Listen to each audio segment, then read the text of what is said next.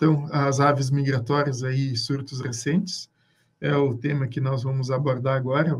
Só vou inverter um pouco, deixar a parte final, que é o diagnóstico diferencial, que é um pouco menor, é, vai ficar aí para a segunda parte, então. É, importante entender o conceito né, oficial da OIE sobre os vírus de influenza aviária e definições aí de doença notificável. Então, é, segundo o artigo 1041, é, o Código para Animais Terrestres define a influenza aviária como uma infecção das aves domésticas, né, que são aquelas é, destinadas à produção de carne e ovos, é, causada por aí, qualquer vírus de influenza do grupo A, que apresentem um índice de patogenicidade intravenoso superior aí ao IPVI de 1,2 em galinhas, ou a mortalidade superior a 75%. Os vírus de influenza se dividem em vírus de alta e baixa patogenicidade, como é de conhecimento aqui na maioria de, de todos, né? Uh, o vírus de alta, os vírus de alta patogenicidade, então eles têm um índice aí é, de, nesse teste intravenoso aí é, de 1,2 em galinhas, de 6 a 8 semanas, né? e ele é superior aí a uma mortalidade de é, 75% aí, nessas aves de 4 a 8 semanas. É, inoculadas por via intravenosa. O vírus é geralmente aí do, os é, subtipos 5 e 7, da hemaglutinina 5 e 7, que não tem é, índice de patogenicidade maior que 1,2, ou causem é, menos que 75% e são eles são considerados de aí de, de baixa virulência.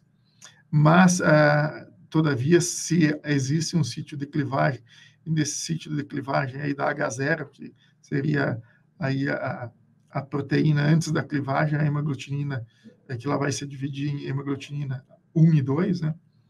Então, esse sítio da clivagem aí contém múltiplos uh, aminoácidos aí básicos, então ele pode ser considerado também pelo sequenciamento de alta patogenicidade, mesmo não cumprindo aí esse 75% ou 1,2% no índice de, de virulência.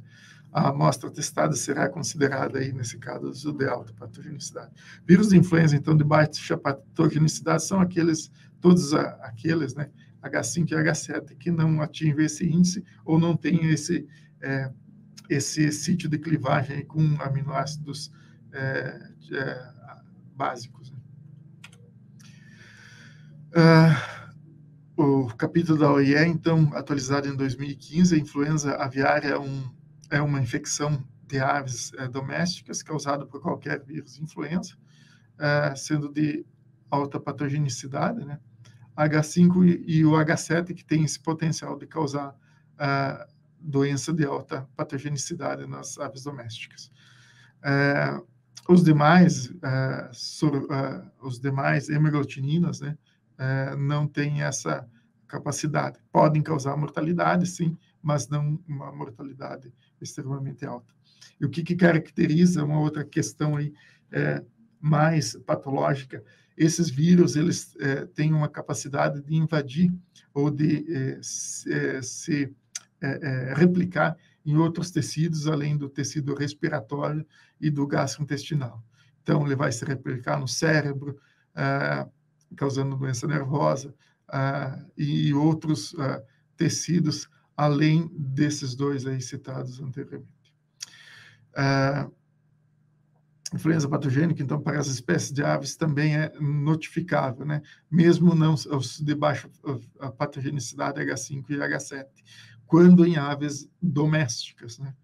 É, vírus de influenza A de baixa patogenicidade dos tipos H1 a H16, que não sejam H5 e H7, não são definidos como influenza aviária e não são é, notificáveis, portanto é, mesmo os casos de influenza que sejam causados por vírus de influenza H5 e H7 de baixa virulência, então são considerados de alto risco, portanto, a aves doméstica é notificável. Aves domésticas se entende como aquelas para fins de produção aí de carne e ovos, galinhas, patos, perus, codoras, marrecos. Uh, as aves H5 e H7 são os uh, subtipos de uh, risco, pois são transmitidos de aves silvestres para as aves domésticas, porque mesmo o vírus né, H5 e H7 de baixa virulência circulando em aves domésticas podem se adaptar, adquirir a capacidade de tornarem-se de alta patogenicidade, né? Então, a gente tem como exemplo o, o, aquele surto de 2012, 2013 no México, onde uh, o vírus, não lembro, mas tenho convicção de que, eh, se não me engano, era um H7, e que uh, através aí ficou de baixa virulência, ficou passando nas, nas nos uh, plantéis de postura, e ele, esse vírus, ele é, entrou, fez uma, uma, uma recombinação na hemaglutinina com uma parte do RNA mensageiro da própria galinha, e aí se tornou de alta virulência e causou um surtos bastante severo, inclusive com eh, causando falta de né, desabastecimento de ovos e carne de frango na época. Ah, por isso, então, aí, é só abrindo parênteses, é tão importante, né? mesmo que o vírus H5 e H7 seja de ba baixa virulência, ele ser notificado e fazer a, a sua contingência, uma vez que, se a gente deixar ele uh, se propagar no, no, no plantel uh, ou nos plantéis, ele uh, tem um risco grande de se tornar alta virulência e aí muito mais difícil de se controlar, porque quando ele se torna de alta virulência, além de se replicar em outros tecidos também, essa capacidade maior ele consegue atingir uma replicação maior e uma, uma infecção do meio ambiente mais elevada do que um vírus de baixa virulência. Vírus de, de, diferentes subtipos, então, da H1 H16, podem circular normalmente em aves silvestres e migratórias, com vírus não patogênicos. Então, essas aves são adaptadas a esses vírus, né? E, então, elas, elas eliminam, apesar de eliminar em baixas concentrações, mas elas podem eliminar aí por períodos ah, longos, aí, inclusive meses, aí, seis meses, aí, um vírus como esse, é, sem demonstrar qualquer sinal clínico, né? essas aves silvestres. Portanto, se essas excretas dessas aves uh, entrar em contato com aves domésticas, né, ou essas aves domésticas tiver acesso, a, por exemplo, a, a, a áreas próximas a, a, lagoas ou lagos, e onde estão essas aves migratórias, é, essas aves domésticas se infectam e causam surtos uh, de influenza. É, esse é o ambiente que tem lá na Ásia, né, bastante comum, tem muita ave doméstica, muitos lagos, e no sudoeste asiático principalmente, e muitas pessoas. Então, é, é um ambiente onde o, o vírus, depois a gente vai ver, ele, é, é, ele circula com grande facilidade e dali se recombina e é, infecta aves em outras regiões do mundo através do círculo de aves migratórias e também da, da, do transporte, ou seja, da, da envio de aves de uma região a outra através das pessoas ou seus produtos de, derivados né, contaminados. É, transmissão do vírus, fontes de infecção de galinhas comerciais, então contato direto com secreções de aves infectadas, respiratórias, especialmente fezes, ração, água, equipamentos, veículos e roupas contaminadas. As aves aquáticas, né, clinicamente normais e aves é, marítimas, né, podem introduzir o vírus em lotes de galinhas. Né? É, ovos quebrados, contaminados, o vírus pode ser viável por longos períodos é, em fezes infectadas em tecidos ou na água, né? Então, até 105 dias aí em água fria, o clima quente do Brasil. Eu dei uma palestra faz muito tempo aí do pessoal da, das cisternas e Uh, realmente o vírus sobrevive com a temperatura um pouco mais alta, aí, acima dos 20 graus na água, a, a, a, resistência ao vírus tende a ser inativada em um período bem mais curto do que esse dos 105 dias. No entanto, mesmo assim, são pode aí duas, três até um mês aí o vírus na água. Então, é, por isso também essa é um dos motivos que no Brasil o vírus não se paga, não se propaga tão facilmente.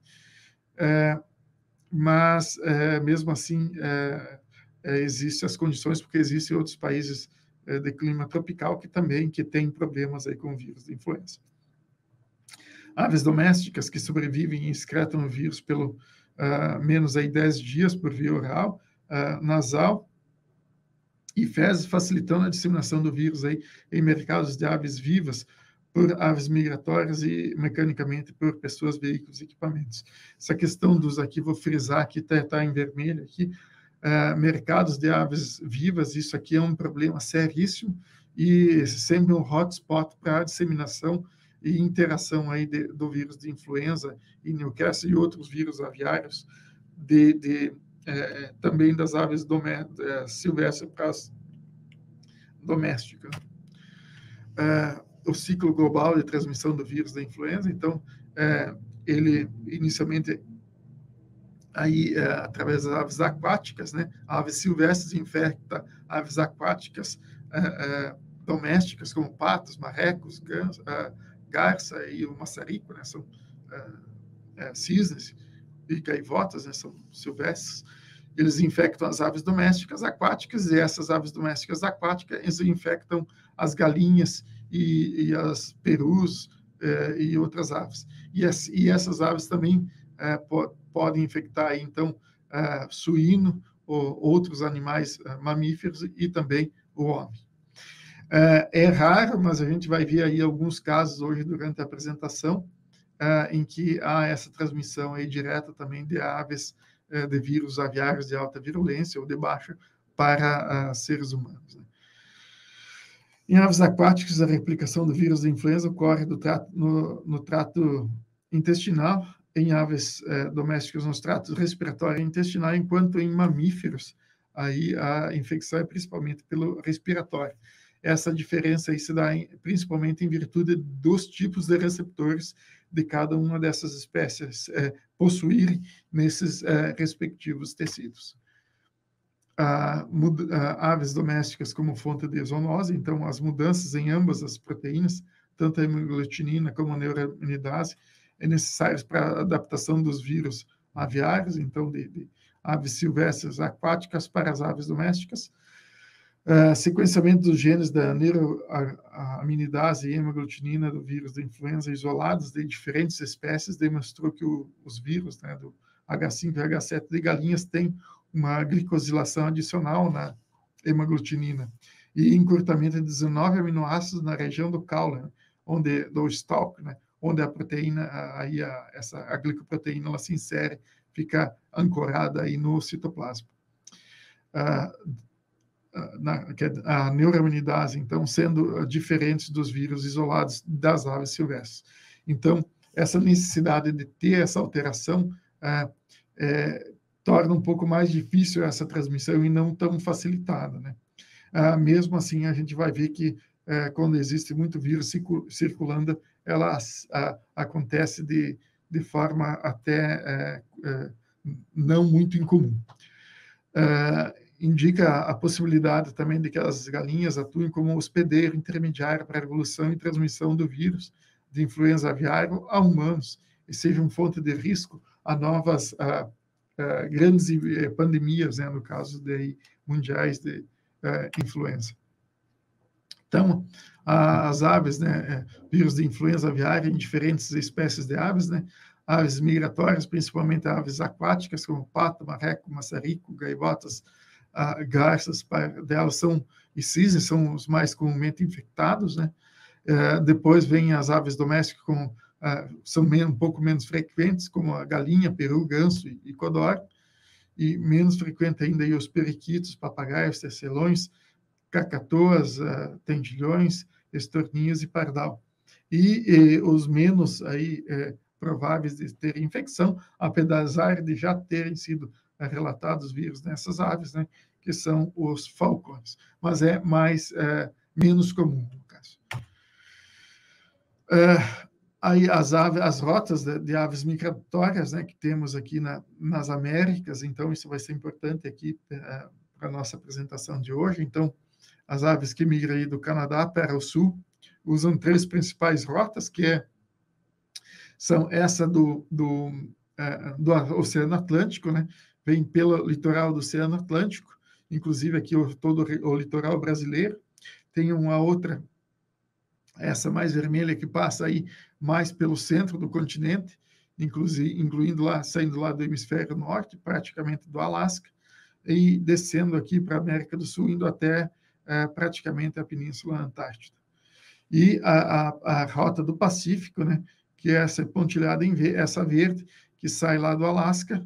Aliás, é, essa do meio, a vermelha, sai do, do norte do Canadá e a, essa pontilhada, então, sai lá do Alasca, descendo aí toda a costa a, oeste do continente, indo também até lá o, o sul.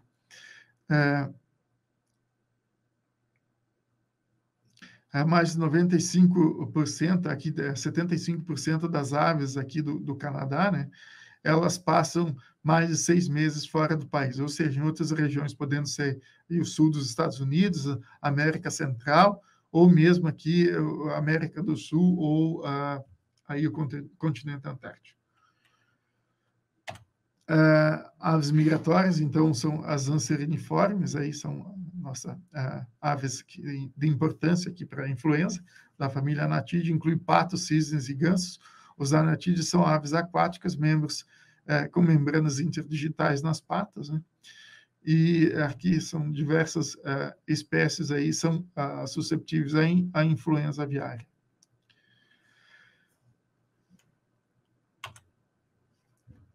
Uh, esse slide aqui já passamos, então, seguindo. Uh, aves de, aqui na América do Sul, então, alguns surtos de influenza que já tivemos, né? Uh, ou vírus isolados. Então, alguns do, que o Lanagro isolou na Argentina aqui, uh, os vírus H6N2, H6N8 e também um H9N2. Uh, esse H9N2 tem causado bastante problemas nessas uh, hemaglutinina uh, H9, principalmente lá na, na Ásia, e mais recentemente causou alguns surtos também preocupantes em aves domésticas, né, em criação uh, de, de, frangos no, na Rússia. no Chile, então, vírus de baixa patogenicidade, H7N6, em 2019, em Perus, teve também, eu lembro, a infecção de perus lá no, no a, pelo a, aquele H1N1 que daquele episódio lá de 2010, é, aquele é, vírus que causou depois também os humanos mesmos infectaram na época os perus através da inseminação artificial, então causou surto aí de queda de produção na época lá no, no Chile. No Chile também esse H7N3 aí causando não só no Chile, mas também o surto na Bolívia. No Peru, então, H3N8, H4N5, H10 e H13. Uh, H9 na Colômbia também já foi identificado. Uh, no Brasil, a USP, aí, no litoral aí do Nordeste, H, encontrou H10N9. Também o Lanagro aí, encontrou H3N8, H4N6, H2N2 e um H7 que ainda não se sabe de qual hemaglutinina uh, pertencia esse sendo mais preocupante. Uh, influenza na América do Sul, então, os Estados Unidos, entre os anos 2012 e 13, então, na região da costa do Golfo, uh, realizou aí um estudo para verificar se os vírus, esses vírus aqui que estavam presentes aí, que a gente acabou de falar e, e comentar, na América do Sul, eles é, chegavam à América do Norte quando as aves migratórias, no caso, retornam para aquele é, continente e eles não identificaram nenhum vírus em aves uh, migratórias vindas com origem aqui do, da América do Sul, uh, chegando aí na costa sul aí do, dos Estados Unidos. Uh, influenza em diferentes espécies, então uh, as aves aquáticas então fornecem o pool de diferentes combinações de genes que resultam na variabilidade de vírus da influenza encontrados nos animais. Então, aí a gente tem todos os genes, né, os oito genes do, dos vírus uh, de influenza A, e, e esses genes podem ser, uh, sofrer, uh, existem duas formas de mutação né, do, dos vírus né, da influenza. Então, uma delas é a mutação em ponto, conhecida como antigenic, antigenic drift, então, que ocorre apenas a mutação pontual, os vírus RNA têm uma facilidade de ter esse tipo de mutação, e o antigenic shift, que é uma mutação maior que acontece quando um fragmento ou um cromossomo desses, né, digamos assim, uma espécie de cromossomo, entre aspas, entre muitas aspas, que é a, a maioria desses é, excetos o PB1 e o PB2, os outros codificam apenas uma proteína, né?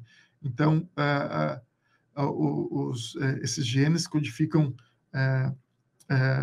uma ou no máximo duas proteínas. Então, a troca desses genes com vírus de quando dois vírus diferentes infectam a mesma célula pode acontecer esse antigenic shift e assim a, a replicação do vírus mais a, assim que tem está mais adaptado e se replica melhor na, naquela espécie animal.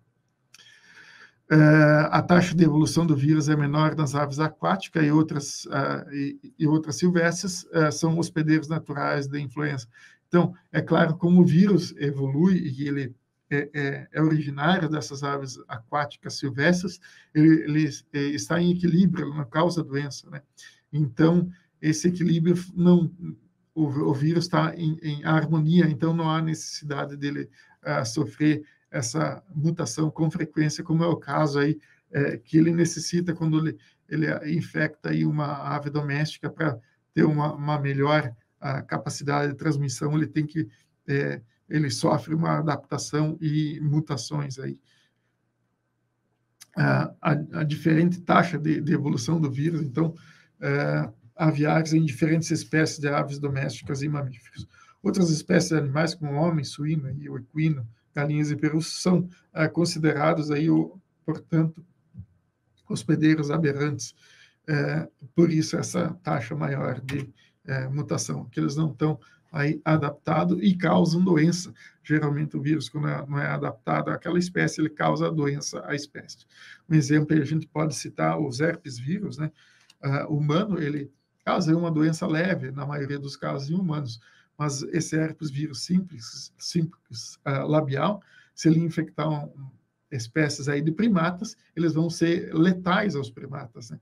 Portanto, e ao inverso também é, é verdadeiro. Os vírus herpes de primatas, se infectar humanos, podem ter uma grande possibilidade de serem letais, porque não está adaptado àquela espécie. É, então, é, com, o tempo né, de um vírus, quando ele chega a uma espécie, a tendência é que, ela, é que ele desenvolva um processo aí de harmonia e de uma doença cada vez mais branda. Então, gênese e caminho evolutivo de, do vírus H10, né, da hemoglutinina H10, em ampla área de sítios de migratórios aqui do sul da China. Então, a gente tem aqui o H10 de uma é, NX, uma, ou seja, uma a neuraminidase desconhecida com H10N8, então, e um HX, uma, é, uma hemaglutinina desconhecida com N8, eles é, se replicaram aqui o H10N8 e deu origem aqui um H10N8 que infectou o humano e também um H10N6 ali depois é, que infecta galinhas. Né? Então, um vírus a precursor aí de H10N8 em patos, linhas sólidas foi introduzida em galinhas, eh, rearranjou com genes de vírus H9N2 exótico em galinhas. Feiras de aves vivas, mais uma vez aqui, eh, como fonte de infecção para humanos. Então, essas feiras de aves vivas, além de ser um problema de transmissão para as aves, para os próprios produtores de aves, elas também são um problema sério para os humanos, uma vez que tu tem é, um grande número de pessoas circulando nessas feiras e sempre vai ter uma outra pessoa com problemas, aí, inclusive imunossuprimidas, né, é, que podem é, ser, é, onde esses vírus podem se replicar com facilidade e, inclusive, serem fatais. Esse outro trabalho aqui, analisar a evolução do vírus H10 no sul da China e relatar a importância de patos domésticos e do atual ecossistema de influenza na China, que tem facilitado a movimentação do vírus de influenza aviários de é, seus reservatórios naturais, né, os patos silvestres e domésticos, para feiras de aves vivas como causa de risco à saúde pública. Então, como eu relatei naquele país, é, não só na China, né, mas ali no sudoeste asiático, que tem essas feiras de aves vivas e grande quantidade de lagos. Ali pode, podemos citar também Laos, Vietnã, outros países assim. É, lagos, muitas pessoas morando nas proximidades de lagos, pessoas criando seus, seus, seus aves, suas aves aquáticas domésticas, né? patos, cisnes, marrecos, e também é, essas é, mesmos locais sendo frequentadas por aves é, silvestres, inclusive vindas, aí, migrando de outras regiões do mundo. Então, um ambiente perfeito e onde a influenza aí faz seus ressortimentos e daí, dali ele sai para viajar o mundo. A contínua infecção, então, de humanos com H7N9, né, atual estado zoótico, do H1N1 e do H9N2 nos últimos anos, indica que o ecossistema do vírus de influenza na China pode facilitar a emergência e persistência de vírus de influenza capazes de infectar humanos. É lógico. É, aqui, então, esse outro trabalho, é, também um outro relato de como o, o vírus aqui, o H7N9, né, ele infectou, passou por aves é, silvestres e chegou à infecção é, de humanos. Então, deleção do gene da neuraminidase é marcador característico de vírus influenza que se adaptam de aves aquáticas para aves é, domésticas terrestres.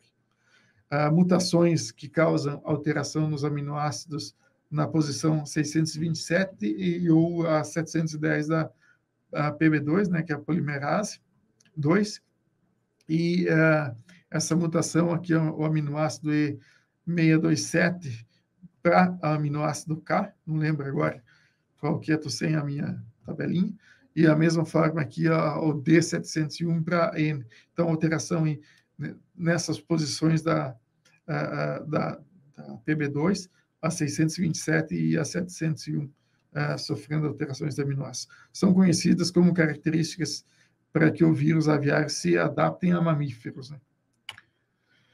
Uh, influenza aviária H5 e não, então continua ocorrendo em aves e humanos, né, desde 2003, maio até 2015. Foram relatados aí 840 casos confirmados em humanos em 16 países e 447 casos letais, né?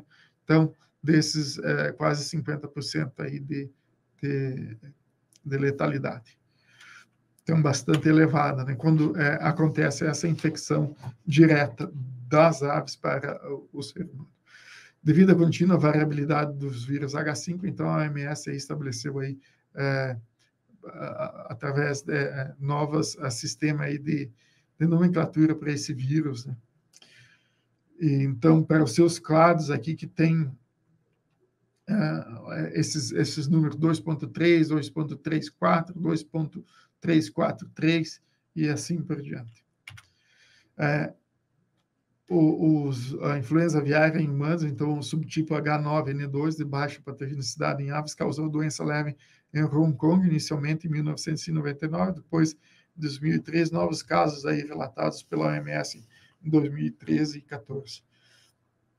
Um surto H7N7 altamente é, patogênico que ocorreu na Holanda em 2003, causou morte de um veterinário e é, por síndrome respiratória aguda, e doença leva em 83 trabalhadores da avicultura e suas famílias. Né? O relatório da OMS, casos de infecção por vírus de influenza aviária confirmados em humanos, H5N1 humanos, 39 casos em 2000, até 2013, é, em sete países, 64% de mortalidade e aumento da diversidade dos vírus, aí H5N1. H7N7, galinhas aí infectando humanos na Itália aí, em 2013, causando conjuntivite. O H9N2, é, galinhas para humanos com é, sintomas leves é, em Bangladesh e Hong Kong. H5N1 de galinhas para humanos, um caso com sintomas aí leves em Taiwan. H10N8, aves domésticas e silvestres, três, infectando humanos, aí, três casos, doença grave, duas mortes. Né? Então, é, quase 70% aí de letalidade. Na China, em 2013 e 14, vírus em, com genes internos do vírus H9N2. E o H7N9 de galinhas aí para humanos, 158 casos uh, em 2013, com 33% de mortalidade. Então, o H7N9, apesar de ser é, menos, não tão virulento, mas ele tem aí uma quantidade de casos bastante elevada. Né? É, característica do vírus identificou ser vírus aviário circulante na China com gene endemaglutinina similar ao de vírus H7N3, detectado em patos, é, seis genes internos do vírus H9N2. Análises do genoma identificaram marcadores que conferem maior facilidade do vírus aviário em causar infecções em mamíferos. também já está se trabalhando com vacina para esse caso. O relatório epidemiológico da OMS, então, informou que indica um aumento de diagnóstico do vírus de influenza aviária em humanos aí nos anos de 2013 e 14, com aumento aí do, do possa ser resultado também de maior vigilância em humanos, né? Então essa é uma coisa que sempre tem que ser considerada, né? Da maior maior quantidade de diagnósticos ser é, pelo fato é, do aumento de diagnóstico e não necessariamente é, que está aumentando a exposição ou tendo mais casos nos seres humanos. Então, esse quadro aqui é interessante para ver aquilo que a gente falou, onde está a maior concentração aqui de pessoas, aves domésticas e, e, silvestres, aqui nesse quadro aqui inferior do lado direito, aqui no, ali no, no sudoeste asiático, ali Índia, China, então, grande quantidade de pessoas, aves silvestres e aves eh, domésticas. Uh, últimos 10 anos, aí, após o H5N1, depois de uma década com basicamente apenas um vírus para nos preocuparmos, né? agora tem surgiram aí vários uh, outros aí, uh, nos últimos dois anos já emergiram aí diferentes e múltiplos uh, clades que são, são espécies, são vírus H5, mas tem aí características um pouco diferentes, tem mutações e que se eles se encaixam aí na árvore, numa árvore filogenética um pouco diferentes, né? Então, H5N8, H6, 5N6, H5N3, H5N2, H7N9 e o H10N8, além de outros por H3N8, H3N2 do canino e H10N7 em mamíferos marinhos. Influenza aviária aqui, o que mudou a partir de 2014, que teve aqueles surtos ah, nos Estados Unidos, né, também. Novos subtipos aviários em humanos, primeira detecção de um vírus H5N6 fatal em humanos na China, ah, em abril de 2014, novamente em dezembro daquele mesmo ano, e outra em fevereiro de 2015. H5N6 também em galinhas aí no Laos, é, como eu falei antes, é, é, acontece num país ali, no outro vizinho ali, que tem características semelhantes, ele logo depois também é identificado. É, aí os, os clades aí no caso, essas variantes aí, o 2.3.2.1b é, e é, H6N6, que circulam amplamente aí nas populações de patos do sudoeste e leste da China, possível origem do vírus H5N6 da China. O H7N9, vírus aviário em taxa maior de morbidade, com a maior taxa de morbidade que o H5N1 e mortalidade aí de 20 a 36%. Então, esse H7N9 ele infecta mais pessoas, mais as pessoas, né? Tem uma facilidade maior, mas ele causa menos mortalidade. Não tão menos assim, né? Que de 20 a, a, a 36% aí é uma é bastante alta ainda a mortalidade. H5N8 vírus aviário aí da Europa, 2017 a 19 e 20, né, na Alemanha, Polônia, Hungria, Eslováquia, Romênia, Ucrânia, também aí da, na Ásia. Então, a, a emergência de tantos vírus novos tem gerado aí um pool cada vez mais, mais diverso de genes virais, como consequência da alta capacidade do vírus H5 e H9 trocarem genes com outros vírus. Né? Então, essa é uma característica que parece que tem aumentado essa característica aí de, dos vírus trocarem genes, né? ou fazerem, fazerem essa a, a recombinação. Desde o início de 2014, a, a OIE, então, notificou 41 casos de vírus H5 e H7 em aves, envolvendo sete diferentes é, é, vírus aí, em mais de 20 países aí de todos os continentes, exceto a Austrália.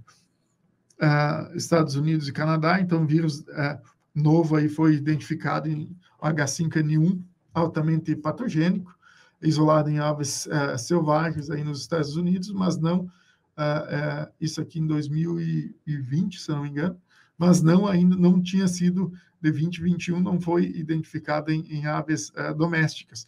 O que de 21 para 22, a gente vai ver, já houve a H5N1, aquele daquele, claros daquele vírus lá de 1998, que tem causado, depois a gente vai ver alguns é, surtos, é, exemplos, é, bastante violentos ou bastante severos lá nos Estados Unidos e, e Canadá. Uh, surtos, então, nos Estados Unidos, H5N2, combinação do vírus H5 de linhagem asiática, H5N8, com o vírus H5N2 de linhagem americana e transmissão para a avicultura comercial. Da introdução de vírus da influenza da Eurásia para as Américas, até recentemente tem sido caracterizado como um evento raro. Esse artigo de 2014 estimou em cerca apenas 2% né, dos genes de, do, dos vírus aqui da América são de origem da Eurásia, vírus circulantes na região da Rota Atlântica Americana. Uh, dezembro de 2014, então, uh, Canadá, vírus de influenza aviária altamente patogênico, H5N2 em galinhas comerciais, perus, primeira vez que o vírus H5 altamente patogênico, contendo genes da Eurásia, causou surto em, em como eu falei, em aves de produção uh, de, comerciais da América do Norte. O vírus H5N2 contém segmentos do vírus H5N8 de origem da Eurásia e linhagens uh, norte-americanas. Né? É, confirmado nos Estados Unidos até maio de 2015, então, influenza é, altamente patogênico e subtipo H5 nas rotas migratórias. Então, aqui a gente tem as, no, numa, numa, aqui no desenho embaixo, as principais rotas migratórias, ó. Então, essa a rota do Atlântico em verde, essa do Mississippi aqui mais uh, laranjada, e essa mais uh, rosa, ou sei lá, nessa a rota central e como a gente comentou lá no início, a rota do Pacífico, essa em amarelo mais no oeste. Ah, então, algumas aves aqui. Então, diferentes estados aí com, diferentes surtos, diferentes vírus aqui é, encontrado em diferentes aves é, silvestres. É, no caso, o H5N2, é, em março aqui de 2015, o H5N2 também aí num Falcão, em março de 2015, é, o H5N8 também aí em janeiro de 2015, e é, outro H5N2 também em fevereiro de 2015, e um H5N8 aí em dezembro de 14 ainda. Aí, coruja, falcão, essas aves é, silvestres.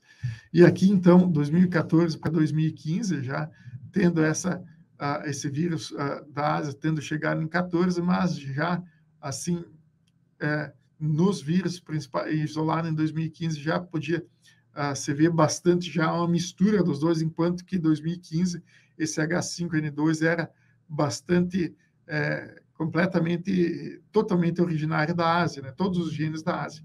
Já em 2015, nós vemos ali genes da América junto com genes de vírus da, do, do vírus da Ásia. Então, aí há essa recombinação acontecendo. Então, aqui no sudoeste asiático, quando iniciam os surtos, né, e daqui, onde sempre a maior parte dos surtos daqui né, vão para o leste, né, geralmente aí o norte da Europa, às vezes, quando o inverno muito rigoroso, como foi esse caso desse último ano, desce aqui os surtos, né, ou vírus novos, assim, mais uh, virulentos também, chegando aí a, a Espanha, ao sul da França, Espanha, uh, também, inclusive Portugal e aqui no, na, no, no, leste da África, em alguns casos, há alguns anos também, na, no sul da África também, é encontrado surtos, aqui bem como nos é, Estados Unidos. É, obviamente, os, as épocas de surtos, os surtos iniciam no outono e vão se, é, se propagam com grande facilidade, então, nas aves domésticas aí durante o inverno aqui em 2020, então, uh, 13 surtos aqui na, na Ásia e quatro na Europa. Em aves aqui, então, ali eh, os surtos uh, 30 na, na Ásia, em aves em galinhas domésticas e 7 uh, na Europa.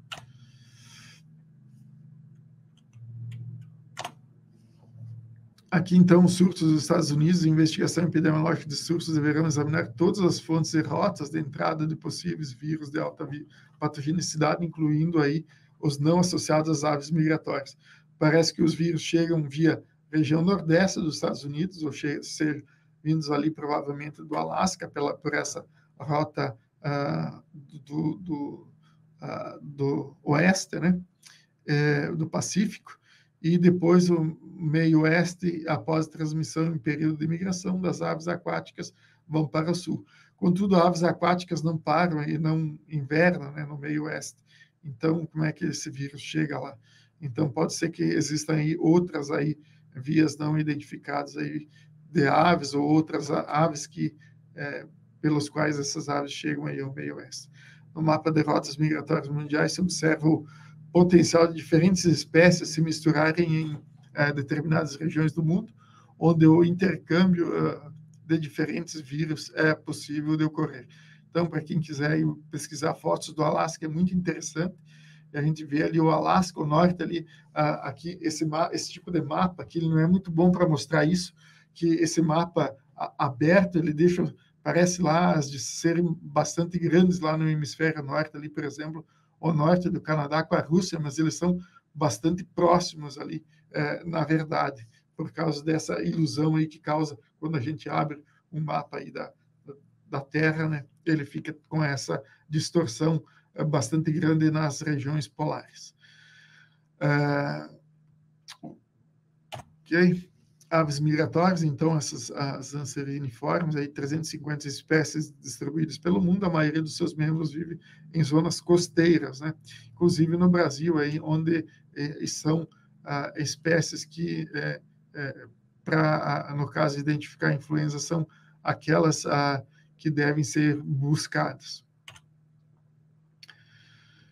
Uh, então, aqui, voltando às, às rotas migratórias aqui da, da, nossa região, então, aves que migram aqui do Canadá para o sul usam ah, três ah, principais rotas, como a gente já disse lá inicialmente, estendendo do norte até aqui ao sul.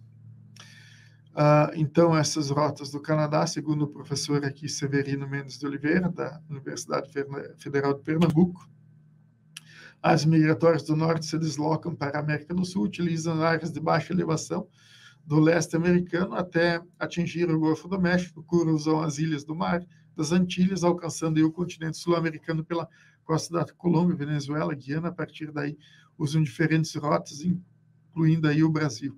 As, as né? então aves uh, limícolas, áreas que eh, vivem em áreas pantanosas aquáticas, áreas de reprodução de, eh, do Ártico, né, com a proximidade do outono boreal. Ah, então, ela, a cerca de, de 30 espécies migram para a América do Sul, ah, a costa passando pela costa brasileira, essas espécies pertencem permanecem no Brasil, em geral até setembro e maio, ah, e se limita em alguns ah, locais. Então, o novo programa do MAPA aí de influenza aviária Newcastle, ele prevê uma monitoria um pouco maior nessas regiões, justamente aí por onde passam esses corredores aí migratórios, tanto esse, esse do litoral, como tem um mais aqui pelo centro do país e um mais ali uh, pelo, pelo oeste também. Então, inclusive aqui os nossos estados, aqui Paraná, Santa Catarina, também passam essas espécies aqui que a gente citou aqui, passam e, e tendem aqui. É, por isso aí é uma coisa muito importante a questão da proibição aí é, de é, é, é criações de aves domésticas comerciais aí é, em próxima a lagos ou lagoas de um limite de 10 quilômetros. Né? Então, é, tem uma importância bastante grande, né? Países que não têm esse tipo, como eu falei, na China, tem problemas sérios de influência. Aqui o professor também é, é, mostra que tem a, a, aqui uma rota migratória que viria da África e outra da Europa, chegando ao Brasil de aves migratórias, o que é, misturaria toda essa questão, ou seja, não necessitaria vir necessariamente lá por essa rota aqui do, via Canadá, mas sim vindo direto da África ou da Europa.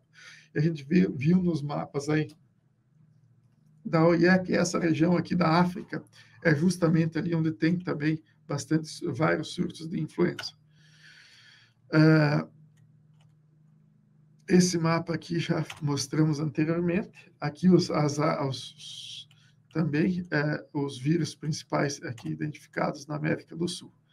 Então, a Argentina foram isolados aqui o H5N6 e o H6N8 e o H9N2. Então, uh, países que tiveram problemas aqui com vírus de alta virulência foram o Chile e a, a e a Bolívia com um vírus H7 uh, há alguns anos atrás. Então, aqui o Chile com H7N3 e também a Bolívia tendo problemas com esse vírus, a Colômbia aí com H9N2, que apesar de não ser de alta virulência, mas causa problema sério com mortalidade e doença aí grave em galinhas. Brasil, na USP, então, coletados em novembro de 2008, eh, de 556 aves, de 23 espécies diferentes de, eh, de, de aves dessas uh, uh, charidiformes, né? No Pará, o vírus da influenza aviária, detectado em quatro amostras de patos vira-pedras, né? é, e isolados em a, vírus H11N9, de três amostras, os, o vírus de linhagem americana isolado da mesma espécie de aves em é, 2009 no nordeste dos Estados Unidos. Então, é um vírus que é, provavelmente aí veio da América do Norte. Uh, outro fato interessante de se relatar é que quanto mais ao norte do Brasil, segundo os estudos do, dos professores lá da USP, quando coleta aves aqui na região sul do Brasil, você tem dessas aves é, é, é, silvestres, elas têm uma percentagem de positividade para a influenza delas é menor, é menos que 1%, cerca de 0,4%. Mas quando tu coleta lá essas aves ali no, na América Central já, é, tu vai ter uma percentagem maior aí, uh, às vezes até de, de, de 4, 2 a 4%. Então, quanto mais ao norte aqui do continente, mais positividade. Então, essa é uma coisa boa, né? Que temos um risco menor, no entanto, tu, temos que frisar que não é risco zero, porque mesmo assim, mesmo sendo baixa, existem aves que é, positivas para o vírus da influenza aqui é, também relatório anual de rotas e concentração de, de, de, aves migratórias no Brasil, aqui tem 2014, então áreas importantes para a avifauna migratória no estado de Santa Catarina. É esse manual aqui de 2014. Uh, quatro grandes rotas usadas por aves migratórias uh, neoárticas no Brasil, né? A rota do Atlântico, como a gente frisou antes, uh, que ao longo da costa, desde o Amapá até o Rio Grande do Sul, rota do Brasil Central, divisão aí da Rota Atlântica na, rota, na altura de, é, da Foz do Amazonas, inicia a, a foz do rios, dos rios uh, Tocantins e Xingu, passando pelo Brasil Central, Vale do Rio uh, Paraná, na altura de São Paulo, rota do Rio Negro, inicia no Rio Negro, passando pela região aí de Manaus e segue até o Vale dos Rios aí Madeira e Pantanal. A rota das cisandina, né, penetra no Brasil pelo Vale dos Rios uh, Japurá, Içá e Purus, Jurá e Guaporé, entrando a partir daí no Pantanal. Então, aqui algumas espécies de aves, maçaricos, uh, que uh, uh, vivem em nosso litoral, em, em Pantanal, que eh, são podem transmitir influenza. Agora que nós vamos ver alguns, uh, alguns uh, uh, casos de influenza aí dos, dos últimos dois anos, principalmente. Então, iniciando lá, vocês veem, veem lá no, no, no, sul da Ásia, 662 focos, depois 656 aí mais acima na China. na Europa, esse ano, bastante, muitos surtos, é, mais de mil surtos aqui no, no norte da Europa, uh, e é, depois uh, outros, uh, muitos surtos também, 310 aí no, na África, no sul da África, e nos Estados Unidos aí chegando também com 75 ou 42 surtos ali. Então, aqui exemplos dos Estados Unidos, H5N1, então, a influenza de alta virulência, Assim como no Reino Unido, também H5N1, vocês vão ver a maioria dos surtos aqui nos países, Europa, Estados Unidos, aqui, aqui Nepal, uh, Itália, uh, Alemanha, uh, Canadá, tudo H5N1.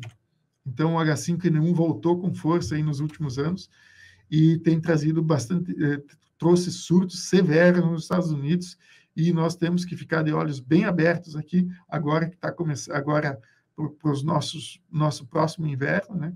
Então essas aves vão migrar para cá agora no verão, no outono elas retornam para lá. É, então H5N1 aqui também essa do AFES, uh, dia 7 de fevereiro desse ano. Então, uh, aqui foi uh, listado na OIE. Aqui um surto, esse é, é, de aí mais de, são dois surtos aqui, na verdade. O primeiro deles, aliás, é, 396 mil aves, o outro com 1 milhão e 600 mil aves, é, e dois deles com 1 milhão e 600 mil aves. Né? Então, novos e o total de, de aves. Então, não foram vacinados, foram eliminadas muitas aves atingidas. Aí, é, esse plantel aí de mais de um milhão é um plantel de postura, outro, se não me engano, era um plantel de perus, bastante, muitas aves. Aqui um outro de perus, né? É, também,